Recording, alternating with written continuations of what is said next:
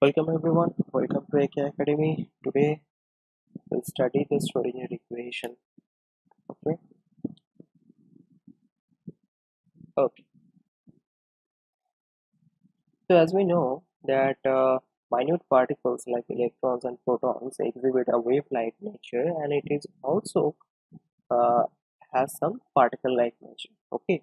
The wave-like nature is incorporated by the de Broglie hypothesis which says that a particle with momentum p has a wavelength uh, h over p. Okay where this h is nothing but the Planck's constant and p is the momentum and lambda is the wavelength associated with the matter wave. Okay now this uh, p the wavelength the sorry the momentum can be written as h cross k.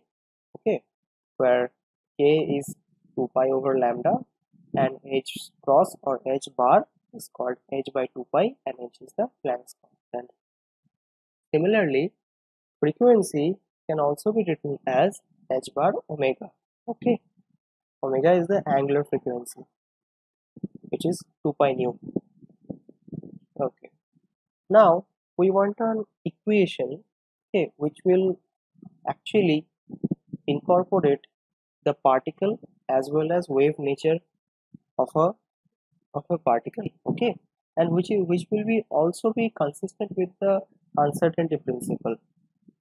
So for that we assume that the trajectory of a particle is described by a wave function xt okay? So how this wave function uh, what is the dynamics of this wave function? How it evolves with time and distance?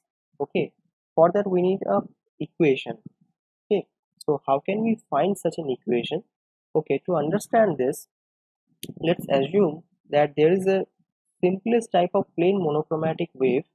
Okay uh, let us assume that uh, okay, a particle whose behavior is described by this wave equation. This is a wave equation. This is a one-dimensional wave equation. Okay. Let us see uh, uh, what equation this wave satisfies. Okay. So now we know that E equals h cross k and E equals h cross omega h cross omega. So if we substitute this value here so what will we get is this equation. Okay. Is this equation. Now, if we calculate the following things, if we calculate I h bar del psi del t of this equation, we'll find E psi and minus I h bar del psi del x, we'll find out E multiplied by psi. Okay, if we square this out, we'll get minus h bar squared over 2m del 2 psi del x del x2 equal t squared over 2m. Why did we do this? Because remember, this is a one-dimensional monochromatic wave which is which which uh, we have assumed that this is this, this describes a free particle okay? So now for a free particle p squared over 2m is the energy which is the kinetic energy and this is also the energy of the energy of the particle. So in principle we can equate these two okay? So for a relativistic non-relativistic particle the energy equation is equals p squared over 2m now if we substitute these values here okay so what will we get is this equation which is i h bar del psi del t equals minus h bar squared over 2m del 2 psi del x2 this is what we call one dimensional Schrodinger equation for a free particle okay? Okay so we have seen that if a particle is described by a um, I mean we just assume that the particle is described by a monochromatic wave. Okay so that so then the particle is the particle satisfies this equation.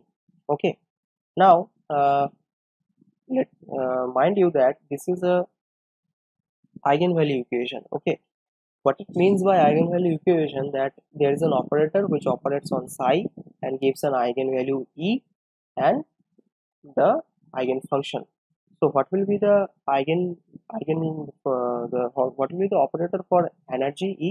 It will be I h bar del del t. And similarly, we can get here get that okay so the operator for an observable observable means the things that we can measure in laboratory okay in an experiment so energy can be measured in an experiment okay so it's an observable. Momentum is also an observable. It's a physical observable. These are called observables okay? So similarly so operator for energy is ih by del, del del t and operator for momentum is minus ih by del del x okay? Now Schrodinger equation can be written in terms of these operators E psi equals P squared over 2m psi. Okay, remember that these are now E and P are just operators. Uh, if we get back to the original Schrodinger equation, we have to substitute E equals h bar del del t and P equal to minus h bar del del x. Okay, and we'll get back the Schrodinger equation for a free particle.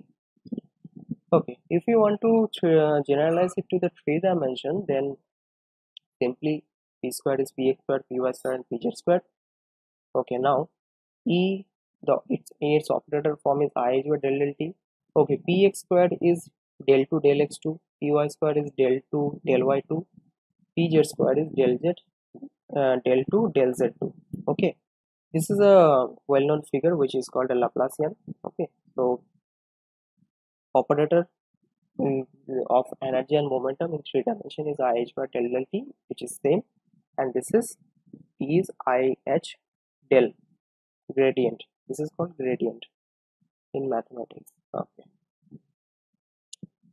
Now, till now we have only considered a free particle. Okay. So what will happen if the particle is is in a potential? Okay, which is a function of uh, distance and time.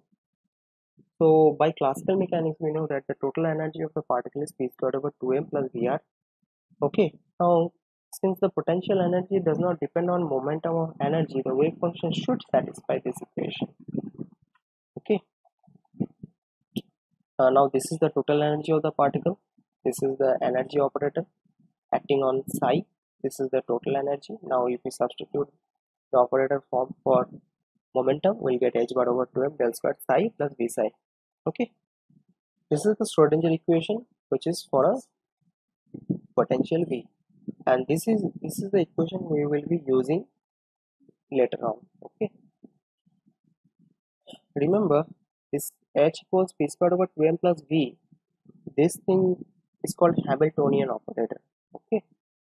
So the Schrodinger equation can also be written in, in, in such a fashion that i h by del psi del t equal h psi where h is just the Hamiltonian. So here this is also an eigenvalue equation.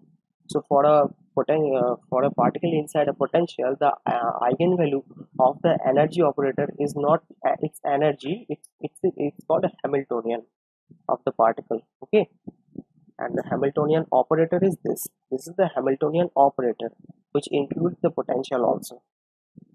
Okay. Now a word of caution.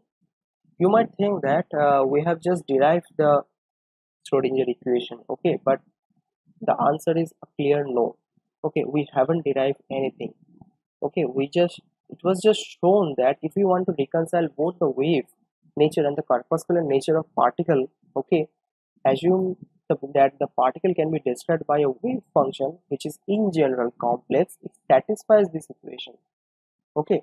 We assume the solution okay. We in in in, in our first place we just assumed a solution and then we uh, calculated back the equation okay. And we saw that what equation does this particle or does this wave satisfied if we if we take into account the energy conservation okay the Schrodinger equation we haven't derived it okay so which means we considered this and this satisfies this equation okay.